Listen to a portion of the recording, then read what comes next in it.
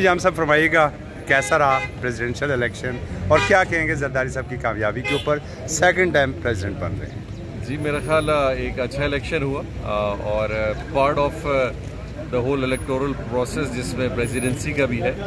और इन आप उम्मीद इसी बात पे रखें कि इस कामयाबी के बाद इन एक बहुत बड़ा चैलेंज जो पाकिस्तान में पॉलिटिकल स्टेबिलिटी का है इकोनॉमिक का है इकॉनमी के ओवरऑल स्ट्रेंथन होने का है और चीज़ों का है।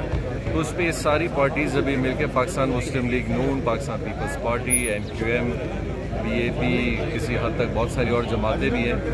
ये एक अच्छे से आ, तरीके से इस चीज़ को भी आगे ले जाना ले जा सकेंगे। जो कि मेरा ख्याल इस पोजीशन में जरदारी साहब के आने के बाद इसमें हम एक पॉलिटिकल स्ट्रेंथ देख सकेंगे हुकूमत और अपोजिशन के दरमियान मुफामत भी हो सकेगी। देखिए एक शुरू है। मेरे ख्याल मुल्की मफाद और मुल्की वो मसाइल जिनसे पाकिस्तानियों के मसाइल हल हो सकते हैं और होना भी चाहिए। आ, उसके लिए मेरे ख्याल अपोजिशन को अपना वो किरदार ज़रूर अदा करना चाहिए गवर्नमेंट के साथ जो पब्लिक को रिलीफ दे सके। बाकी अपना एक पोलिटिकल स्टांस है आपकी एक एजिटेशन है वो आप बिल्कुल रखें। किसी ने मना नहीं किया है। लेकिन यहाँ हर गुजरता हुआ वक्त या दिन जो है, उसका एक लम्हा आवाम की बेहतरी के लिए भी गुजरे, जिससे हम कोई फ़ायदा भी हासिल कर सकें। बहुत शुक्रिया।